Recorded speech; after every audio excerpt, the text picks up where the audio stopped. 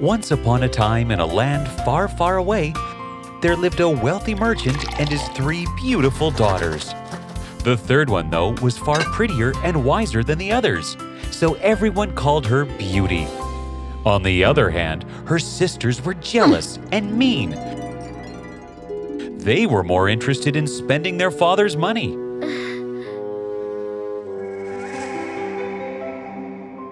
Beauty used to dream about a handsome prince.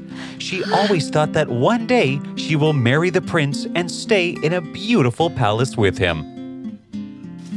Everything was happy in Beauty's life like her dreams. And one day, her fate changed. Due to a terrible storm, her father lost all his ships and so all his money. It's all over, dear. We are no longer wealthy. Don't worry, Father. All will be fine soon. We will find a way out of it. You are my only wealth. I'm happy with you. Soon, all the servants left the house because of Merchant's poverty. Beauty was running the house, while the two sisters kept complaining about how they were living in poverty. Beauty always prayed to God to bring back the happiness on his father's face. And one day, the merchant received the news that one of his ships was sailing into the harbor. I have good news. One of my ships has sailed into the harbor. We shall be no more poor. Right now, I have to leave for the harbor. Tell me, what shall I get for each of you? I want new dresses. I want jewelry. And what shall I get for you, my lovely child? All I want is your safe return home, Father. So sweet of you. But you must ask for whatever you want, my child. Um. The Scarlet Rose. Please get me just one. Of course, my sweet child. On this happy note, the merchant left for the harbor. As he reached the harbor, he saw the ship was completely isolated and found out that all the crew ran off with the remaining cargo of the ship. Broken hearted, the merchant started his journey towards home. Lost in thought, the merchant wandered off the road and lost into a dense forest. The snow was falling like all the ocean water had turned to snow. The horse was not able to walk in the dense snow, so he let him rest under a tree. In the distance, he saw some bright lights and went towards it. It was a huge, beautiful palace. As he reached it, the gate made of shining gold swung open. It seemed very strange that no snow had fallen in the avenue of orange trees. Oh, what a beautiful place this is! I must enter the palace and meet the king of this palace. The merchant made his way through the great hall. The merchant waits and looks around to see someone to come in. But after a long wait, no one came to the place. Hello? Is someone there in the palace? Hello? There was a dining table with a fresh meal of dainty cakes and fruits. I think I should start eating myself. Later, I will thank that considerate host, whoever it may be. He lost hmm. no time in finishing his meal. After he eats his fill, he went upstairs. He opens the first door and saw a room with a nice clean bed. Oh my god! It seems I was due for some good luck. The merchant opens his eyes to a bright new day. He found a new pair of clothes ready for him. He prepares himself and went down to the hall. The breakfast was ready on the table milk, fresh juices, and breads. He eats to his fill and gets up. Uh, hello? Is anybody here? Thank you for your hospitality. You are so generous. I am leaving now. Bye bye. As he stepped out, he saw as many roses as the eye can see. Oh, the scarlet rose. Well, I can take this for my beauty. He promptly approaches the garden and picks out a rose. As soon as he plucked a rose, there was a loud growling sound behind him.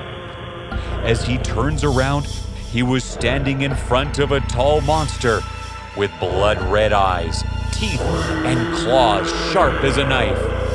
Who told you to gather my roses? Was it not enough that I sheltered you in my palace? This is the way you show your gratitude? Your insolence shall not go unpunished. Go! Spare me! Merciful Lord!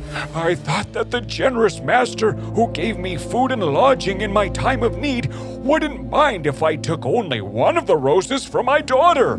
Forgive me, my lord. Daughter. Hmm. Well, I have an offer for you then. That can save your life. What is that, my lord? I am ready to do anything for you. My three daughters must be waiting for me now. Hmm, three daughters. Okay.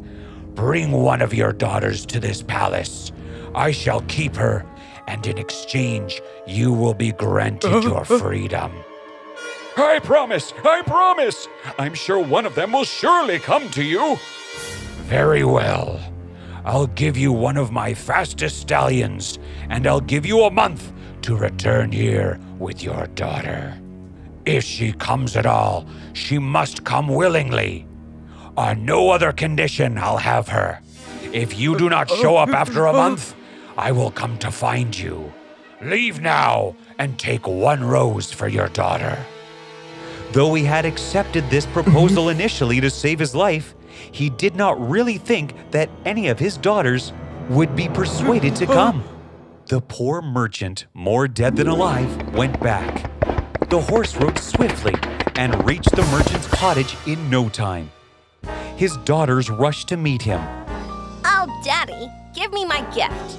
Where is my gift, Daddy? How are you, Daddy? You must be tired. Here is what you asked me to bring for you, mm-hmm. and you don't know what it has cost. He told them about his ships and the beast. It was your fault.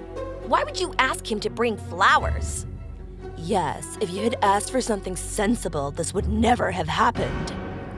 I have indeed caused this misfortune. I will therefore go back with father to keep his promise. Oh, Beauty. I'm so sorry, dear. I brought you this entire bad fate. As I did the deed, it is only right that I should suffer for it. Beauty was firm on her decision. She encouraged and cheered her father.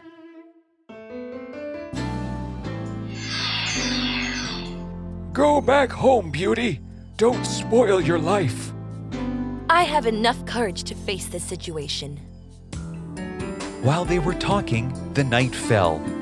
To their great surprise, all the forest was illuminated like the entire universe was welcoming her. Wow! It's amazing! Soon they reached the road of orange trees and saw that the castle was brilliantly lighted. When they reached the great hall, they found a splendid fire burning and the table richly spread with a delicious meal. They were very hungry after the long travel, so both started eating the meal. But they had hardly finished their meal when the noise of the beast's footsteps was heard approaching. Good evening, Beauty. Good evening, Majesty. So, have you come willingly? Yes, Will you be staying here when your father goes away? yes. Go back to your horse. You will find another horse loaded with trunks full of gold, which is for you and the rest of your daughters. Farewell, Beauty. I'll miss you every day, dear. I will miss you, Daddy. The horse took off and in an instant disappeared in the distance. Go upstairs. Take some rest. Good night. Good night. Beauty opened the first door and found a beautifully decorated room. She lay down on the bed and instantly fell asleep. When she got up in the morning, she found her dressing table set out with everything she could possibly want. She found her lunch in the Great Hall. After the lunch, she sat down cozily in the corner of a sofa. Will this horrible beast keep me a prisoner forever? How can I set myself free? Thinking and thinking about this, again she fell asleep. It was the evening time. She heard the beast coming. Good evening, Beauty. Good evening. Do you love me, Beauty? Will you marry me? Huh? Say yes or no without fear. Oh no! Since you will not, good night, Beauty. Good night. She was very glad to find her refusal had not provoked him.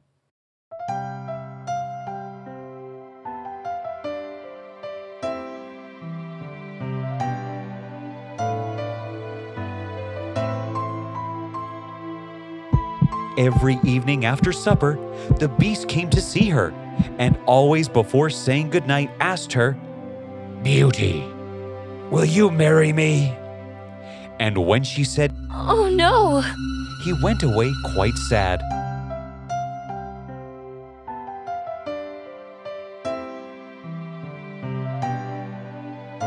As time passed by, Beauty was no longer afraid of Beast, since he was always kind to her. Living in the palace was so much fun for Beauty. She amused herself in the garden. There were fountains, orange trees, myrtle trees, and the birds. Even the beast sometimes played the piano for Beauty and had long chats with her. So everything went on for a long time. Until at last, Beauty began to long for the sight of her father and sisters.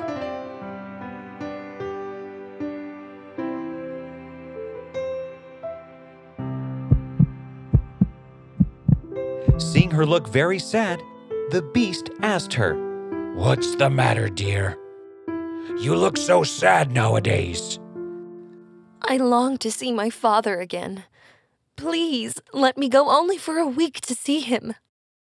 I promise to come back to you. Ah, Beauty. Is it because you hate me that you want to escape? No, it's not that. I do not hate you. And I should be very sorry to leave you for some time.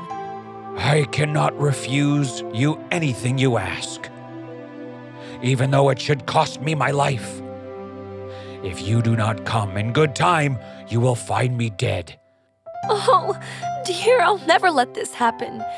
You are always kind to me. You will not need any chariot to travel. Wear this ring and sleep. Fear nothing. Sleep peacefully, and you shall see your father when you wake up. Oh, really? Thank you. Thank you so much. And when you wish to come back, remove this ring from your finger, and you will find yourself in the palace again. Good night, Beauty. I will miss you a lot. Good night, dear, and thank you for your kindness. Just remember your promise. Yes, yes, yes. As soon as the beast left, Beauty hastened to sleep. The next morning, she found herself in her own house's bed. Her sisters were ah. astonished at her magical appearance. Father hugged her so tightly and started crying with happiness. Oh, Beauty, I was so worried for you. I missed you very much, dear. I miss you too, Daddy. Beauty told her father about the beast's kindness. After much consideration, he replied, You tell me yourself that the beast loves you dearly and deserves your love and gratitude for his gentleness and kindness. I think you ought to reward him by doing as he wishes, in spite of his ugliness. A week slipped by, and Beauty forgot all about returning to the castle. Until one night, she dreamed that the beast was lying on the ground, dying. God! Beauty was so terrified by this dream that very evening she said goodbye to her father and her sisters. As soon as she was in bed, she removed her ring.